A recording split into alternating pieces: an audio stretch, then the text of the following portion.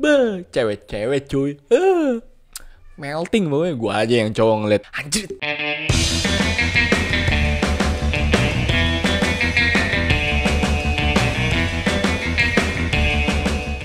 Perhatian-perhatian, welcome to James Co. Pada episode kali ini gue akan membahas tentang eh, aktris-aktris dan aktor-aktor Hollywood yang ternyata mereka itu pandai bernyanyi, bahkan dahulunya mereka pernah juga berkarir sebagai seorang penyanyi. Tanpa basa-basi, kita langsung masuk ke yang pertama. Brie Larson.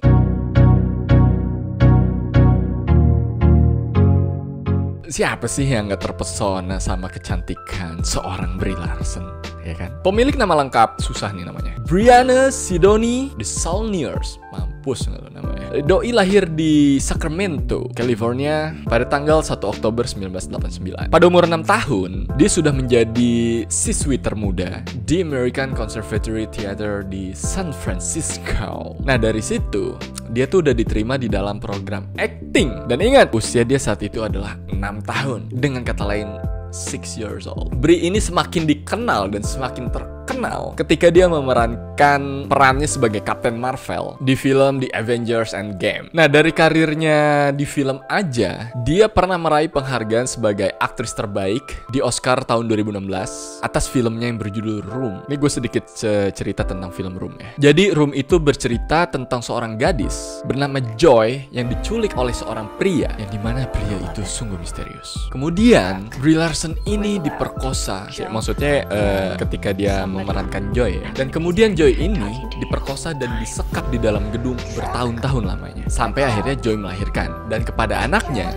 Joy itu selalu bercerita kalau dunia ini hanyalah sebatas gedung. Petualangan keduanya kemudian berlanjut ketika Joy memutuskan untuk memberontak dan membalas dendam. Itu cerita sedikit tentang film Room. Kemudian gue kutip dari matamata.com, kesuksesan Brie Larson yang sekarang didapatnya ini ternyata itu uh, adalah buah dari perjuangan dia dia sedari kecil. Dan uniknya, sebelum Brie Larson menekuni dunia acting secara profesional, dia juga pernah mencoba uh, keberuntungannya, menjajal keberuntungannya di dunia tarik suara. Dan gak nanggung-nanggung, dia bahkan menuai kesuksesan di debut albumnya yang berjudul Finally Out of PE. Uh, coba Dian tolong tampilkan video klip yang judulnya She Said ya. Nah, melalui single She Said, waktu itu Brie Larson masih berusia 16 tahun dan ia telah mempromosikan dirinya sebagai seorang penyanyi. Dan karir musiknya nggak berhenti sampai di situ saja. Dia sempat bergabung uh, dengan label musik ternama yaitu Universal Music dan juga Casablanca Records. Nah, selain menuai kesuksesan uh, melalui single She Said, ada beberapa lagu enak juga yang diciptakan oleh Brie Larson. Contohnya adalah Go Goodbye dan Invisible Girl. Ketika menjadi idola banyak orang berkat film The Avengers Endgame, para netizen tiba-tiba dibuat kagum dengan kemampuan Brie Larson saat ia kembali menunjukkan bakat bernyanyinya yang diunggah di akun Instagramnya. Nah, itu adalah aktris Hollywood pertama yang bisa bernyanyi ternyata. Gimana menurut kalian? Komen di bawah. Next, kali ini aktris atau aktor Hollywood yang ternyata dia juga bisa bernyanyi adalah Ryan Gosling. Lagi-lagi, siapa sih yang nggak tahu sama si Ryan Gosling nih? Kalau lu penggemar film Hollywood, lu pasti tahu Ryan Gosling. Apalagi ketika Ryan Gosling tuh menjadi bintang utama di film The Notebook dan juga La La Land. Beh, cewek-cewek cuy. Uh melting pokoknya gue aja yang cowok ngeliat Ryan Gosling di The Notebook sama La La Land sih yang bikin gue anjir Ryan Gosling ya. Maksud gue itu susah cuy film cuy. Itu kan uh, musikal film ya. Lu harus belajar nari lu harus belajar nyanyi anjir itu Ryan Gosling top nah Pemilik nama lengkap Ryan Thomas Gosling ini merupakan seorang aktor yang berasal dari Kanada yang memulai karir di dunia perannya dalam The Mickey Mouse Club pada tahun 1993 sampai 1995. Kalau kualitas aktingnya mah udah nggak perlu kita raguin lagi ya. Banyak juga penghargaan yang dia dapat soalnya. Dari film La La Land aja, dia pernah dapat uh, Golden Globes Award di tahun 2017 cuy sebagai Best Actor in the Movie.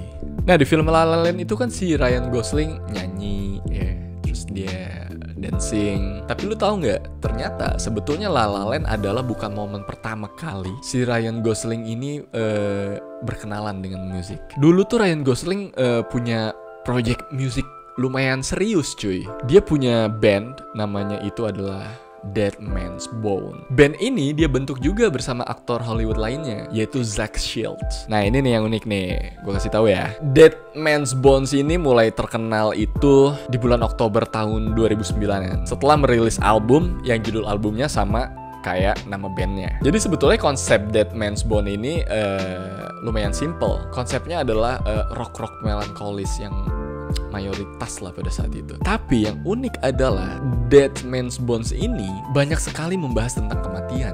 Contohnya adalah di lagu mereka yang berjudul My Body's Zombie for You dan juga Werewolf Heart, lalu ada Lost Your Soul, terus ada juga uh, Flowers Grow Out of My Grave. Gue kutip dari Vice.com, Gosling dan Shields sebetulnya sempat memproduksi uh, video music untuk lagu Name in Stone. Tapi lagi-lagi uniknya lagu Name in Stone nggak muncul di album perdana mereka nggak tahu kenapa. Di dalam band ini Ryan Gosling tuh nyanyi main gitar dan juga main piano. Tuh cuy.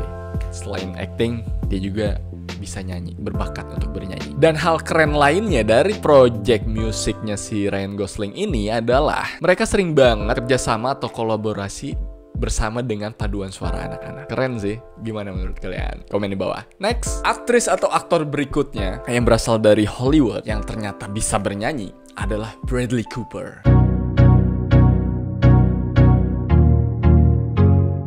Jadi Bradley Cooper ini adalah aktor dan dia juga pengisi suara si Rocky Raccoon di film uh, The Guardian of the Galaxy. Yang tokohnya nyebelin banget cuy karakternya. Dan tentunya film dia yang berjudul The Hangover cuy. Pasti kalian inget lah ya. Lu pasti tahu lah film Hangover kocak tapi ternyata dia dituntut harus bisa bernyanyi di sebuah film uh, yang dia perankan bersama dengan Lady Gaga yang berjudul Star is Born dan berkat aktingnya dalam film tersebut, dia masuk ke dalam nominasi Best Actor pada Oscar tahun 2018. Gue awalnya sempet ragu ya ketika ngeliat atau ketika gue tahu Bradley Cooper dan Lady Gaga gitu ya mau bikin film. Gue ragunya adalah apa beneran bisa nih si Bradley Cooper karena gue nggak pernah ngeliat dia nyanyi gitu ya. Eh ternyata pas filmnya jadi dan nonton filmnya bagus dan suara si Bradley Cooper juga lumayan ya. Bahkan Bradley Cooper diajak sama Lady Gaga untuk nyanyi di lagu Shallow kan cuy. Yang lagunya tuh sekarang kita bisa dengar di radio-radio cuy. Ya Salut untuk Bradley Cooper. Gimana menurut kalian? Ayo, pengen tahu. Next, aktor atau aktris Hollywood berikutnya yang ternyata bisa bernyanyi dan suaranya lumayan atau merdu adalah Emma Stone. Ini partnernya Ryan Gosling di film La La Land, cuy. Tapi sebelum La La Land sebetulnya dia udah lumayan cukup terkenal, cuy. Film-film yang pernah diperankan antara lain adalah Zombieland dan juga kalian juga pasti uh, ingat The Amazing Spider-Man. Tapi di film La La Land ini dia dituntut harus bisa bernyanyi dan juga menari. Dan berkat kerja kerasnya uh, untuk supaya bisa bernyanyi dan juga menari untuk kebutuhan film La La Land, ia diganjar penghargaan sebagai Best Performance by an Actress in a Leading Role pada Oscar tahun 2017. Jadi Ryan Gosling dan Emma Stone berhasil menciptakan uh, sebuah chemistry uh, dan juga berhasil membuat penonton menghayal-menghayal gitu ya kayak ah gila peran mereka tuh gila banget di situ. Dan suara mereka ketika mereka menyanyi juga nggak jelek-jelek banget. Artinya mereka bisa bernyanyi cuy Gimana menurut kalian? Komen di bawah Next, aktor atau aktris Hollywood yang ternyata juga bisa bernyanyi adalah Jack Black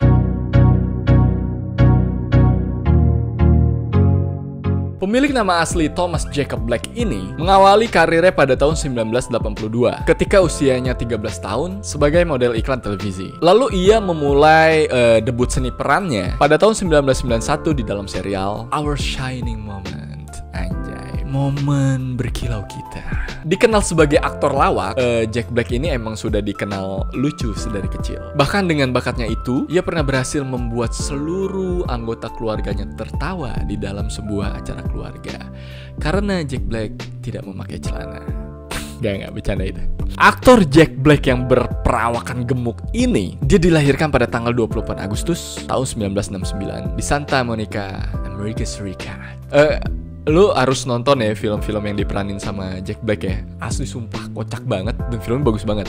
Uh, salah satu film Jack yang pernah dimainkan oleh Jack Black adalah The School of Rock. Itu film pertama gua yang bikin gue merasa anjrit jadi gitaris keren banget nyet. Sumpah. Film The School of Rock tuh berhasil menggugah gue untuk memulai belajar main gitar. Tonton ya. Dan ternyata Jack Black ini punya band yang namanya Tenacious D. Tenacious D ini terbentuk di tahun 1994 dan uh, personil lainnya adalah Kyle Glass. Nah genre musik mereka sebetulnya rock tapi komedi cuy. Mungkin kalau di sini kayak Tim Lo kali ya. Bahkan Tenacious D ini juga sempet difilmkan cuy. Judul filmnya adalah Tenacious D in the Peak of Destiny Coba kalian tonton. Ini uh, musical film juga dan lumayan kocak. Tenacious D ini uh, pernah mengeluarkan album, ya album pertama mereka itu di tahun 2001, judulnya Tenacious D. Kemudian second albumnya atau album keduanya rilis di tahun 2006 yang berjudul Peak of Destiny. Kemudian di tahun 2011, uh, Tenacious D juga bikin album lagi yang berjudul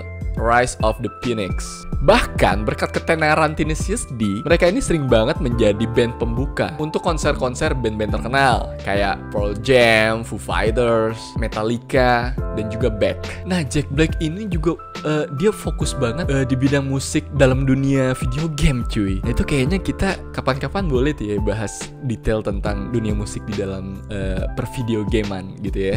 Dan lu tahu nggak? Ternyata Tenacious D ini pernah mendapatkan penghargaan dari Grammy Awards untuk kategori Best Metal Performance di tahun 2015.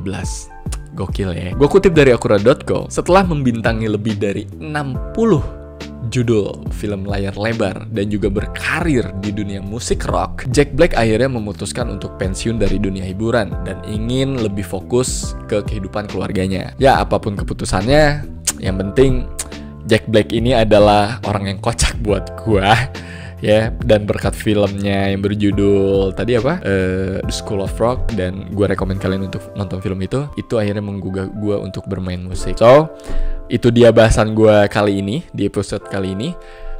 Menurut kalian siapa lagi aktor atau aktris? Nggak perlu Hollywood deh siapa aja? Indonesia kayak mau Bollywood kayak mau uh, Zimbabwe siapa aja? Pokoknya kalian bisa komen di bawah dan uh, kalian bisa kunjungi Instagram kami, follow lah jangan cuma kunjungin doang. Instagram kami di @jalur.